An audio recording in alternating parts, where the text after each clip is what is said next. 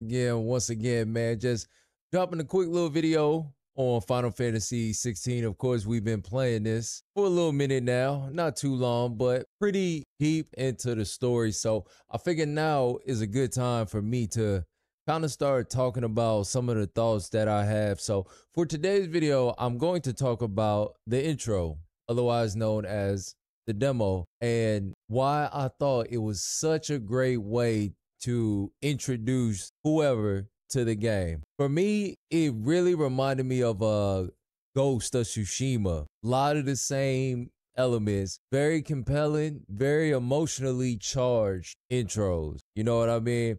And when you think about it, it's really a testament to the powerful storytelling and the immersive world building that the devs over there at Square Enix have achieved. They know how to get you into a game. It was the same thing with 7 Remake, even though 7 Remake for me kind of dragged on a little bit, took a little bit longer, but this game got me right into the mix from the beginning, and I thought that was super dope. Now, that leads us to a conversation about emotional depth. You really see this through the main character, uh, Clive, right? Clive Rosfield. When Clive transforms into Ifrit, that is not only a pivotal moment of the game's demo, the game's intro, but that's a pivotal moment in the game because when he transforms, it ain't just a physical change. It's also an emotional, psychological one. It's all of that into one. So then from there, I start theorizing. All right, Clive's body was taken over. Had to be.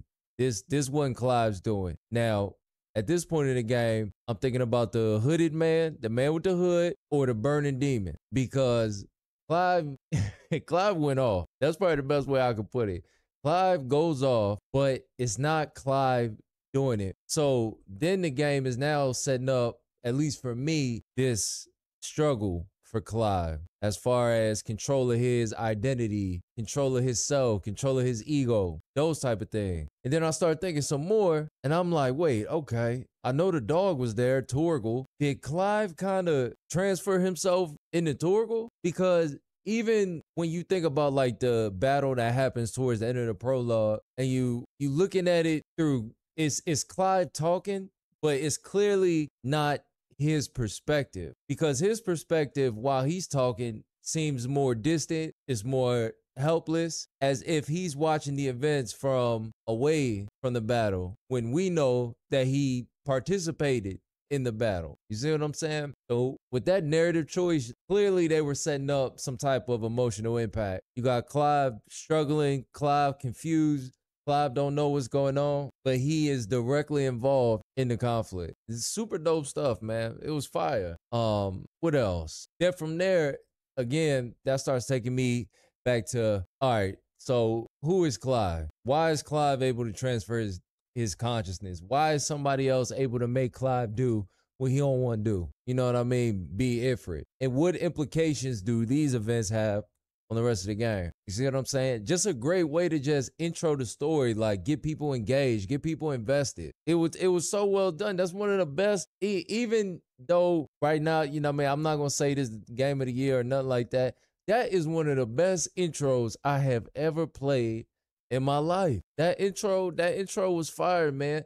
You got strong emotions from Clive seeing his brother Joshua just get mauled, obliterated, eviscerated, whatever word you want to use. You got that. And then the implications of, okay, all right, who's Clive? Is Clive the good guy? Is he the bad guy? And it makes you want to learn more about Clive's transformation, his development as a character. I'm probably going to end up doing a video once I'm done talking about Clive's character development. But if you have not played at least a demo, I would say go try the demo. Try the demo, come back to this video, tell me how you felt about it. All right, the demo is free. You ain't got to pay for that. Go grab that, come back, tell me how you felt about it. And I also suggest if you did beat the demo and now you have the full game, before you start the full game, go back and play the demo again. Do that. Go back and play the demo again because I think it's going to be able to reinitialize you into what's going on in the game. The first time I did it, I started with just, you know, the end of the demo onto the next part, which is super cool that it was in there. But low key, I had wished I went back and just did it all from the start and then moving on because you can kind of forget that emotional connection.